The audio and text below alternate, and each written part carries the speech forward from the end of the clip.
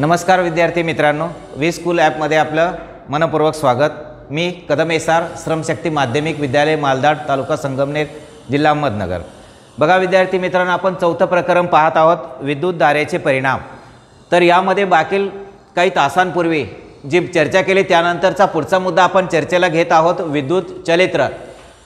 आपल्याला माहिती आहे की ऊर्जेची विविध प्रकारची रूपं असतात आणि यामध्ये साधारणपणे ऊर्जेचं रूपांतर होते हे देखील आपल्याला माहिती आहे. म्हणजेच एका प्रकारची ऊर्जा दुसऱ्या प्रकारच्या ऊर्जेमध्ये जाते हे आपण शिकलेलं आहोत हे आपल्याला माहीत आहे. आता विद्युत चलित्र म्हणजे काय? तर त्याची जर व्याख्या द्यायची झाली तर विद्युत ऊर्जेचं रूपांतर यांत्रिक ऊर्जेमध्ये करणारं जे यंत्र आहे जे उपकरण आहे त्याला विद्युत चलित्र असं देखील म्हटलं जातं. आणि आपल्या अवतीभोवती साधारणपणे या विद्युत चलित्राचे वेगवेगळ्या प्रकारचे जे उपयोग आहे वेगवेगळ्या कारणांनी आपल्याला त्याचा उपयोग होतो. त्या संदर्भात जर विचार करायचा झाला तर घरामध्ये वापरले जाणारे पंखे शीत कपाट म्हणजे फ्रीज त्याचबरोबर वेगवेगळ्या प्रकारचे मिक्सर्स धुलाई यंत्रे वॉशिंग मशीन संगणक आणि विद्युत पंप यांच्यामध्ये या ठिकाणी त्याचा वापर होतो असं आपल्याला नमूद करता येईल. आता यामध्ये जे विद्युत चलित्र आहे तर या विद्युत चलित्राचे साधारणपणे आपल्याला त्याचं तत्व आणि कार्य याविषयी जाणून घेताना पहिल्यांदा आकृतीमध्ये वापरलेले जे काही भाग आहेत जे उपकरण आहेत ॲपरॅटस आहे त्यांची आपल्याला ओळख करून घेणं महत्त्वाचं ठरेल. तर या ठिकाणी एन आणि एस हा एक नालाकृती चुंबक किंवा मॅग्नेट वापरलेला आहे असं आपल्याला नमूद करता येईल. आणि विद्युत रोधक वेस्टर्न असलेली जी तार आहे ही जी चौकट बनवली ए बी सी डी ती एक तार वापरलेली आहे त्यानंतर हा एक आस त्या ठिकाणी वापरलेला आहेत त्यामध्ये यामध्ये असणाऱ्या आसाच्या शेजारी दुबंगलेले कडे पुढे संदर्भ येणार आहे त्याचा आणि एक्स वाय हे त्याचे दोन पॉईंट आहे. त्याचबरोबर त्या ठिकाणी दोन कार्बन ब्रश वापरलेले आहेत आणि खाली या ठिकाणी ही जी चौकट आहे ती चौकट एका बॅटरी संचाला जोडलेली आहे असं आपल्याला नमूद करता येईल. बघा आता विद्युत चरित्रामध्ये विद्युत रोधक आवरण असलेली तांब्याची तार वापरली तिला ए बी सी डी अशा प्रकारचं नाव आपण दिलेलं आहेत आणि यन आणि एस अशा प्रकारचे जे ध्रुव दिसतात हे ध्रुव नालाकृती चुंबकाचे ध्रुव आहेत असं आपल्याला नमूद करतायत. आता आकृतीमध्ये दाखवल्याप्रमाणे ए बी आणि सी डी या ज्या शाखा आहेत तर या चुंबकीय क्षेत्राच्या दिशेला लंब असतील आणि कुंडलाची दोन टोके जी आकृतीमध्ये एक्स आणि वायने दाखवलेले आहेत तर या दुभांगलेल्या कड्याला ती जोडलेली आहेत असं आपल्याला दिसतं आकृतीमध्ये. त्याचबरोबर कड्याच्या या दोन अर्ध भागांच्या त्या ठिकाणी कार्बन ब्रश नाव दिलेलं आहे. तर त्या ठिकाणी थोडासा ब्राऊन कलरचा हाफ सर्कल दिसत आहे त्या ठिकाणी अर्ध भागांच्या आतील पृष्ठभागावर रोधक आवरण आहे. म्हणजेच इन्सुलेटेड आवरण त्या ठिकाणी असतं असं आपल्याला नमूद करता येईल.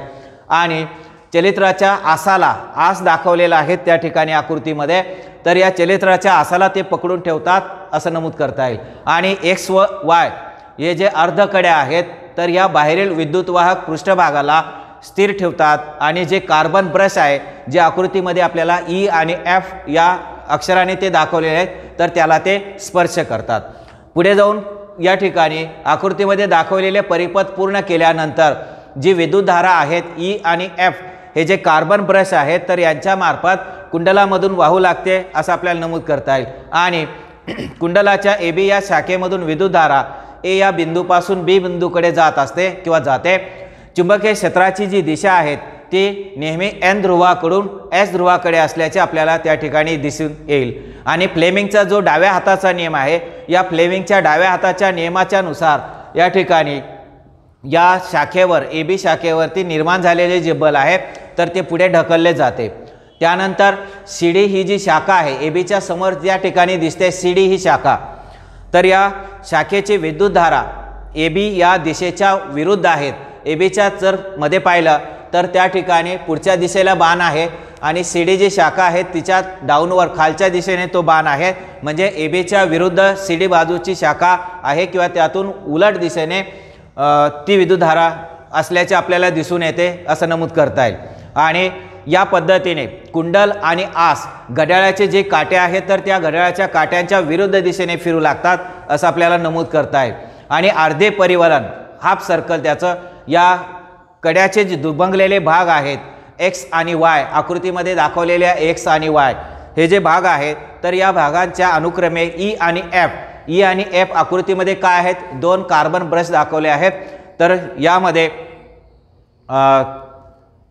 ते जातात आणि कार्बन ब्रशच्या वरील दिशेने ती बल जे आहे ते फोर्स ढकललं जातं असं आपल्याला नमूद करता येईल. आणि अर्ध परिवर परिवर्तनानंतर कुंडलातील जी विद्युतधारा आहे ती दिशा विरुद्ध होते किंवा उलट होते आणि कुंडल आणि आस या घड्याळाच्या काट्यांच्या विरुद्ध दिशेने फिरतात असं आपल्याला या ठिकाणी नमूद करता येईल. आणि हे जे चलत विद्युत चलित्र आहे तर या विद्युत चलित्राचा वेगवेगळ्या ठिकाणी उपयोग होतो असं आपल्याला नमूद करता येईल. आणि व्यावसायिक तत्वावरती त्याच्यामध्ये वेगवेगळ्या प्रकारचे बदल करून त्याचा आपल्याला व्यावहारिक दैनंदिन जीवनामध्ये उपयोग होतो असं आपल्याला नमूद करता येईल. आणि त्यानंतर पुढच्या तासाला आपण विद्युत चुंबकीय प्रवर्तन या मुद्द्याच्या दरम्यान आपण चर्चा करणार आहोत. धन्यवाद.